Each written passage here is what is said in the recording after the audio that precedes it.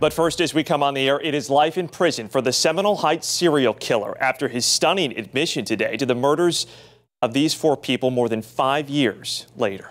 You're watching 10 Tampa Bay at 5. I'm Josh Sidorowicz. And I'm Courtney Robinson. It is a day that families say that they have been waiting for, but not with the ending that most of these families expected, as the state agreed to accept his guilty plea to four counts of first degree murder in exchange for taking the death penalty off the table. This killing spree terrorized Tampa Bay for nearly two months. This community watched as one, then two, then three, then finally four people were killed. The people in the Seminole Heights community wondered if they or their loved ones were next. The state attorney says today's decision came down to the victims' families and they were able to speak directly to the admitted killer. So, as we keep you informed and connected this evening, we have team coverage. Our Megan Myers spent today in the neighborhood learning how these crimes not only gripped the community with fear, but also brought them together. And we start tonight with 10 Tampa Bay's Eric Glasser outside the Hillsborough County Courthouse. And Eric, you were there when this plea deal came down. Yeah, Courtney and Josh, we were actually already here because we were told that today was going to be the beginning of a three-day hearing whereby defense attorneys for Howell Donaldson III were going to try to have key physical evidence against him thrown out. We ended up with something completely unexpected. Howell Donaldson III, shocking most of those in the courtroom, pleading guilty to four counts of murder, part of a deal his attorneys approached prosecutors with about two weeks ago.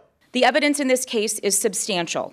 We are confident that a jury would have found him guilty as charged if we moved forward to a jury trial. Prosecutors say they only accepted the deal to spare family members the emotional trauma of reliving the case, which was set to go to trial in August. None of these families here today have I ever met before today other than on Zoom. And speaking of Zoom, you sat there numerous times with such a smirk on your face as if you did not have a care in this world. I've never wanted to reach through anything in my life and just snatch somebody's soul. Yes. While at least one relative still wanted to pursue the death penalty, most supported the decision. We suffered for five years. Every family here, we suffered for five years. I can finally sleep tonight. No more crying. No more being angry. I'm just glad it's over with. In taking the plea deal, Donaldson now admits to the deadly, random, and terrifying crime spree that ended with the murders of Ronald Felton, Anthony Naiboa, Monica Hoffa, and Benjamin Mitchell. What this guilty plea does, it confirms what we already knew that he planned, ruthlessly killed and held our city hostage for 51 days. For his plea, Donaldson receives four consecutive life sentences no trial, no appeal, no parole, ever. These families no longer have to see this monster in a courtroom. He will spend the rest of his life in a cage of his own construction. But I also know that the day will come where he's going to meet his maker and he's going to rot in hell. Again, there were several family members who said they still would have preferred that this go to trial and have the opportunity to see whether Howell Donaldson III would receive the death penalty. But prosecutors say that a majority of the family members at this point acknowledge that nothing was ever going to bring their loved ones back and that they would prefer to begin the process of putting this behind them. Live in Tampa, Eric Glasser, 10 Tampa Bay. 51 days. That is how much time passed between the first murder and when police caught up to Donaldson. And during those 51 days, fear rose as more victims were found. Tonight, we take you back to the beginning. This is all started October 9th, 2017. 22 year old Benjamin Mitchell was found shot to death at a bus stop near North 15th Street and East Frierson Avenue. It was less than a week later, October 13th, the body of 32 year old Monica Hoffa was found. Police say that she was killed two days prior to that. By October 17th, investigators were beginning to think that these two murders were connected, but they had no motive, no suspects. Two days after that, 20 year old Anthony Naiboa became the third victim. The community was on edge, and police were stepping up their search. But nearly a month would then go by before the killer struck again. On November 14th, 60 year old Ronnie Felton was shot from behind and killed near North Nebraska Avenue and East McBerry Street.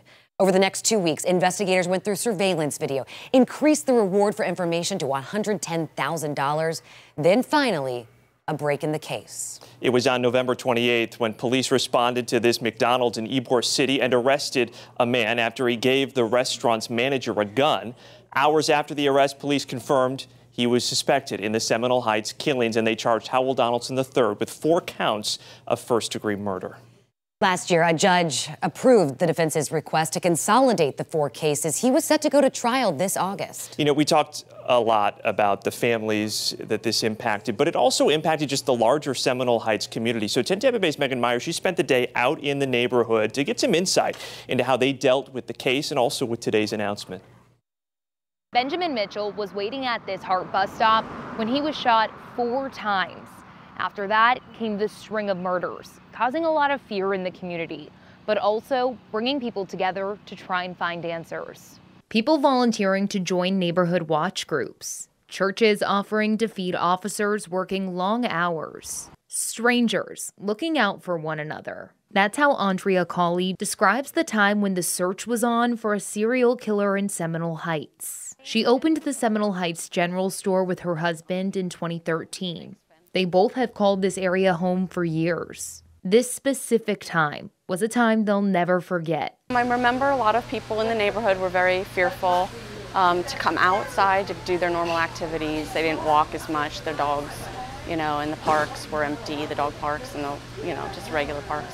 And um, traffic was very light. Um, people were eating in. The search for Donaldson lasted well over a month. I'm reporting in Seminole Heights. Megan Myers, 10 Tampa Bay.